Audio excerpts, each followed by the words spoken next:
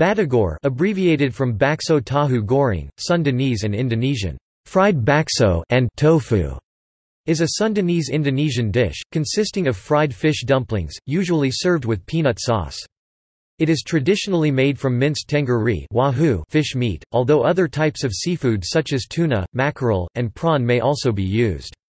The fish paste is subsequently stuffed into wonton skins or filled into tofu, and then deep fried in palm oil. Street side Batagor fried dumplings are usually served with fried tofu and finger shaped fried otak otak fish cakes.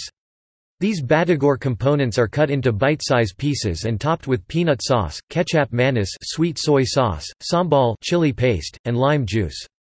As a fried food, Batagor generally have a crispy and crunchy texture. Since the serving method is identical, Batagor and siomay are often sold by the same vendor, with Batagor being offered as a crispy variation of siomay.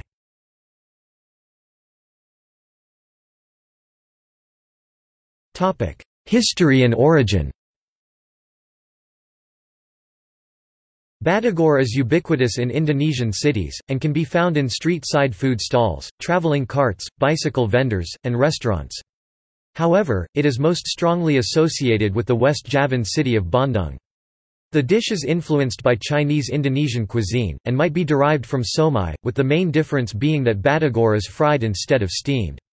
It has been readily adapted into local Sundanese cuisine, and today, most batagor sellers are Sundanese. Batagor began appearing in various Indonesian cities throughout the country in the 1980s, and is believed to have been invented in 1968 in Bandung. According to legend, Batagor was created as a way to salvage unsold bakso meatballs. It is said that one day the bakso did not sell well, and a seller was stuck with too many leftovers.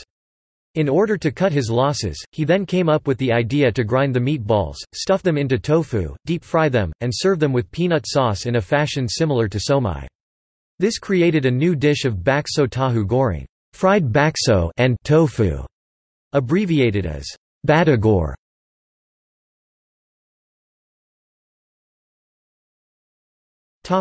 Varieties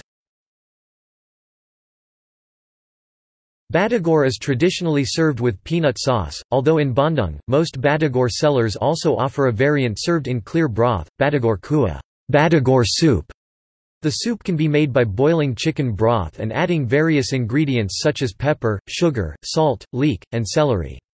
Chili sauce, tomato sauce, and lime can also be added to bring more flavor into the soup. Batagor is popular for its savory flavor, crispy texture of its deep-fried wonton skin and tofu, and its sweet and savory peanut sauce. The typical price of Batagor is fairly affordable, with a plate of modest street-side costing around 10,000 Indonesian rupiah, less than 1 US dollar, as of 2018.